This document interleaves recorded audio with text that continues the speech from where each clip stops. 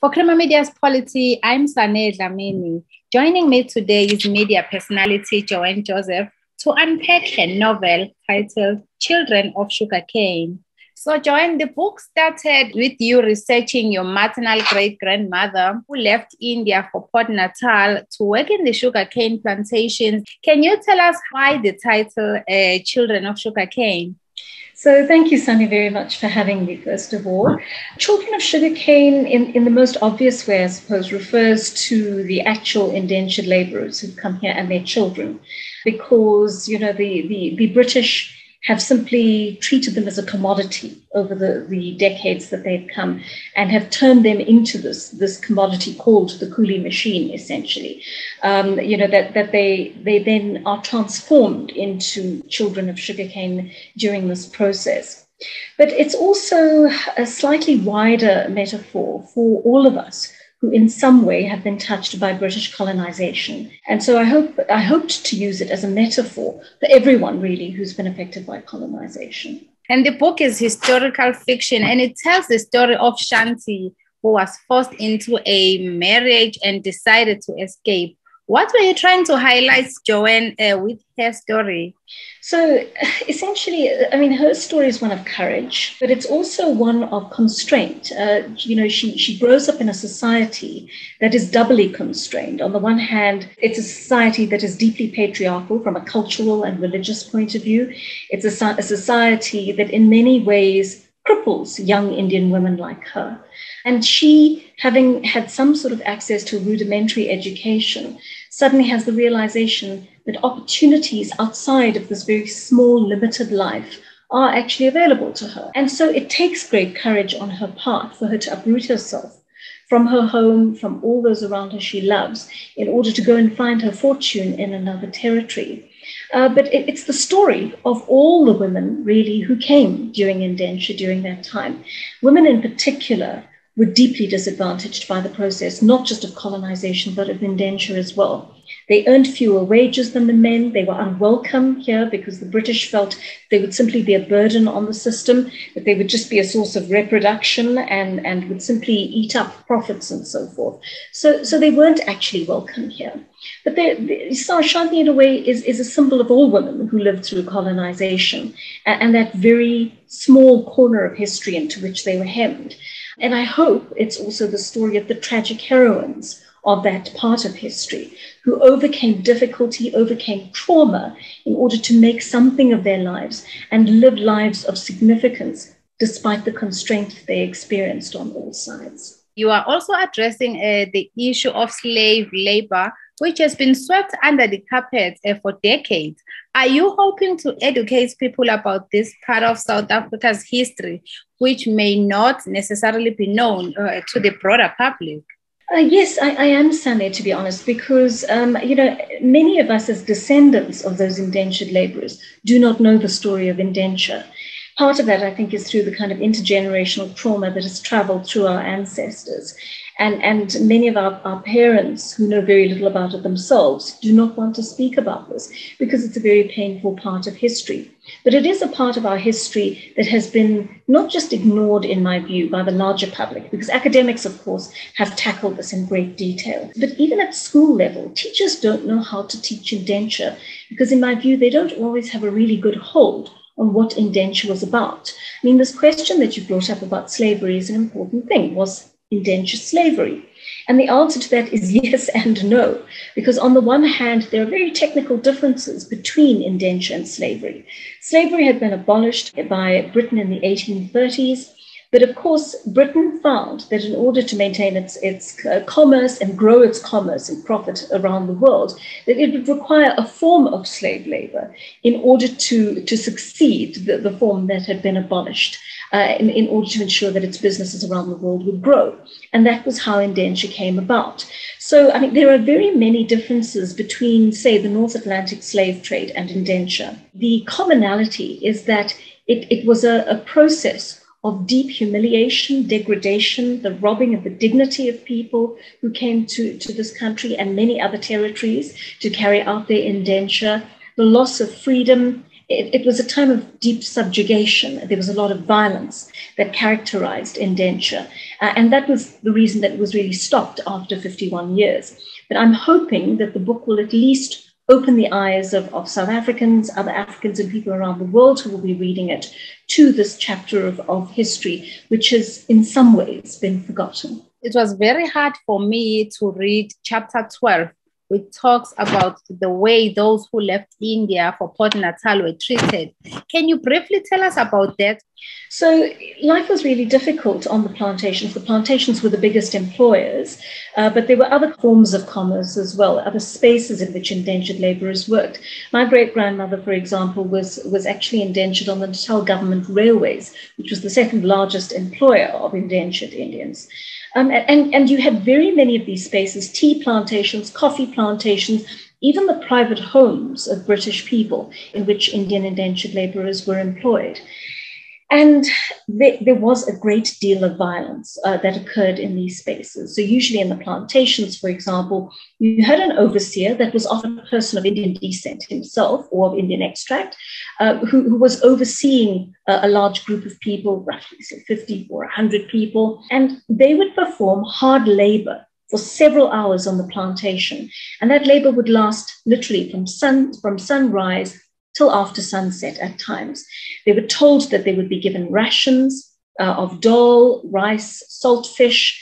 That wasn't really always given to them. Often the rations were, were rotten or they were inadequate, and, and you know they, there was a great deal of dissent about how they went about securing those rations.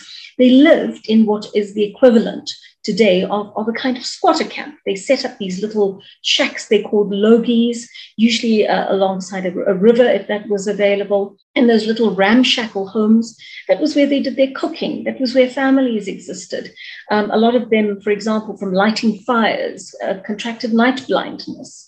Um, you know, the, the labor on the farms was difficult, but it was also cruel. So there were many, many beatings. Rape was a very common thing on the plantations. There are many families actually in South Africa today that are the product of rapes that occurred at the hands of plantation owners.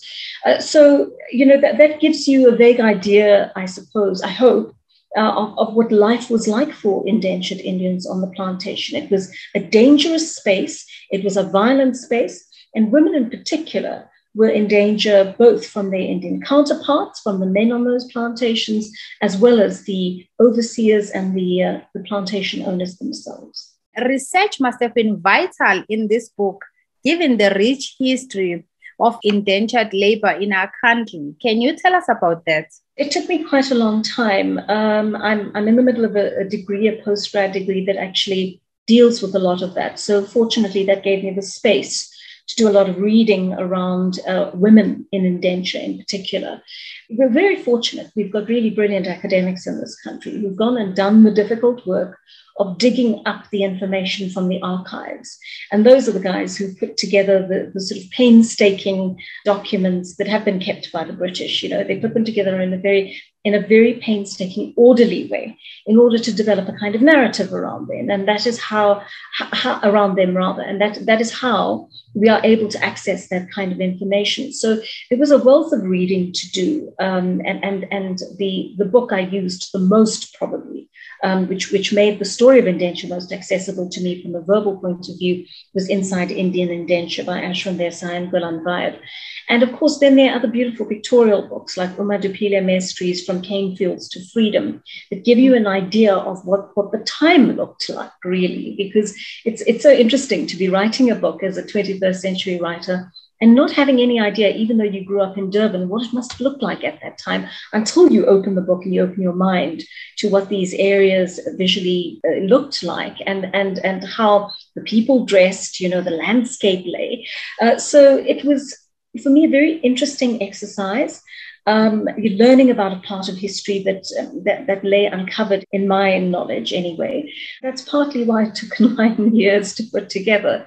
There was quite a lot of reading to be done, and some of that just remains in your head as a kind of backdrop to the story you're writing, but a lot of that I tried to weave into the text as well. This subject must have been a learning curve even for you, your community in Chatsworth, as well as your family. Was a huge learning curve for us all, Sunny. Uh, but for me in particular, because uh, I knew nothing when I started off. I had this vague outline of my great grandmother's story, and that was what eventually prompted me to go and, and, and research, you know, get the history books out and start consuming some of that. I think for my mother, it's been a very interesting exercise because um, you know, it, it, she is essentially my link to my maternal uh, great grandmother, and and we found out a lot about what her life must have been like during this time. And some some parts of that are quite sad and disturbing, and other parts of that have filled us with, with, with a bit of courage and pride. You know, knowing that actually she was someone who overcame her circumstances and decided to stay in the colony of Natal. And thanks to her, we've been able to make a very good life here in South Africa as Africans, you know. It was wonderful to go back to the community of Chatsworth that I come from. They received me so warmly. They opened their minds to the book and the subject matter so warmly.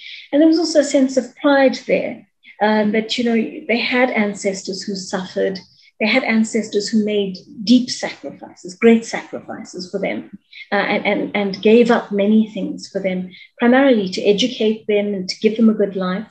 And, uh, you know, our, our, children are now starting to reap the benefits of the Success has been incremental over generations. So, so finding out the root of that success and, um, and what it took to get us to that point was a real eye opener for everyone, I think. And lastly, Joanne, what are you hoping readers take away after reading your novel? So there, there's a lot that I think we can reflect on, Sane. And, and one of the most important things I want us to reflect on is the present. I was reading some beautiful articles written quite a few years ago, uh, but, but I came upon them this week as I was doing some reading. And they spoke about history and historical fiction and the role it plays in Africa. And they suggest that post colonial writing has a different effect in Africa, um, or different desired effect in Africa to, to the effect it might have in other parts of the world. So if you're writing historical fiction in Britain, you are reminding people of a part of history in that, in that particular region of the world.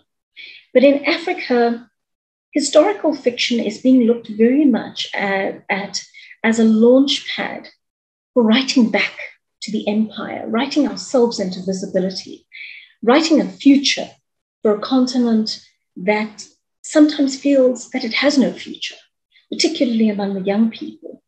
And, and that's why historical fiction is such a valuable tool for us today.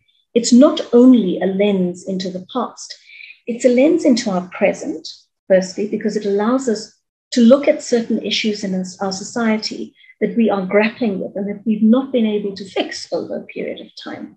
Look at the Indo African relations in this country, for example. We saw a resurgence of violence um, and conflict between the African and Indian communities uh, over the period of the July looting. What does it say about how our communities relate to each other? What is at the root of that? And of course, reading historical fiction allows us to go back and look at how the British established that relationship, where they never allowed Indians and Africans of that time to look directly at each other, but they always mediated that gaze and that relationship. And they built up a feeling of distrust, which they left us with. And we're still living with that and grappling with it and trying to unravel it today. But, but it's been very useful for me looking back into the past to see how that came about and, and what possibilities exist to actually ensure that, that that can be unraveled in the present. And then, of course, that leads us to the question of the future. What do we want for ourselves as Africans? For so long, other people have told our stories. Uh, in those stories, their perspectives have been different to ours, the power relations have been different to ours. Um, you know, the, the, the way in which they depicted our societies and our people have been very different to ours. Now is the opportunity for us to revise history with a view to building ourselves a decolonized future that is very different to, to the current sort of helpless, desperate future which many of our youth envisage right now. And I really hope that we can use historical fiction as, as a really functional tool for that purpose. That was Joanne Joseph in conversation with Polity about her novel titled Children of Sugarcane.